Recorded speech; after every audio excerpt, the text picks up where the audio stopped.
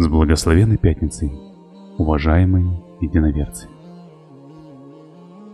Хвала Всевышнему Аллаху, единому Богу и Господу, сотворившему этот прекрасный мир, даровавшему жизнь Адаму и Хаве и нам, их прямым потомкам, живущим сегодня на земле.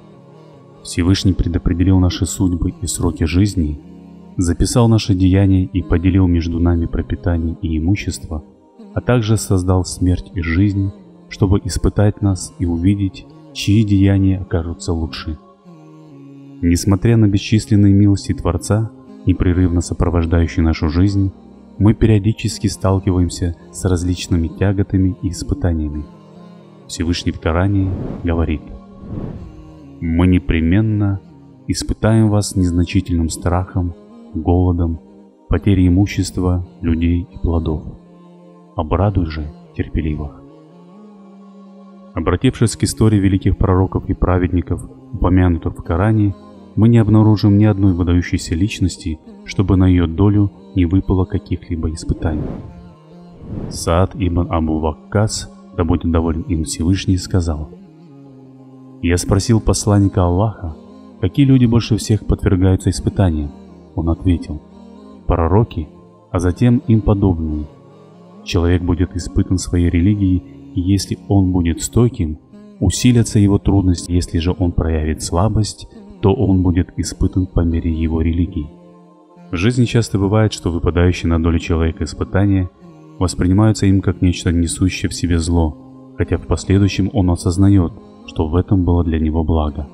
К сожалению, не у всех есть такое понимание и осознание, а ведь верующим достаточно вспомнить слова Всевышнего. «Быть может, вам неприятно то, что является благом для вас, и, быть может, вы любите то, что является злом для вас. Аллах знает, а вы не знаете. Каждое испытание имеет определенные пределы. Нужно лишь запастись терпением. Истинно верующий непоколебим во время испытаний, его сердце устойчиво, и он никому не жалуется на свое положение. Мусульманин знает и всегда помнит о том, кто его испытывает о том, кто обладает совершенными атрибутами и такими прекрасными именами, как справедливость и безграничная милость. Мусульманин также знает о бесценной награде за проявленное им терпение и об облегчении дел после прохождения каждого жизненного испытания.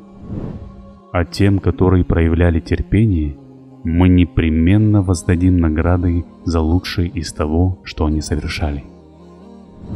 Они получат свою награду в двойном размере за то, что были терпеливы.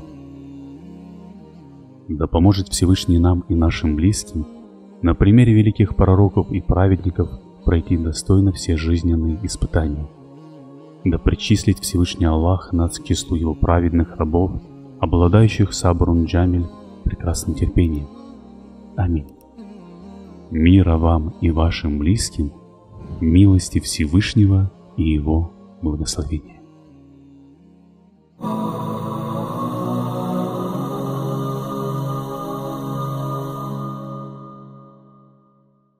Московский исламский колледж теологии и права приглашает слушателей на обучение в медресе в новом учебном году. Дни открытых дверей пройдут 4 и 5 сентября 2021 года. Все желающие смогут посетить учебное заведение, познакомиться с преподавателями и подробнее ознакомиться с образовательной программой.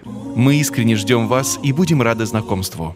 Подробности можно узнать по ссылке в описании.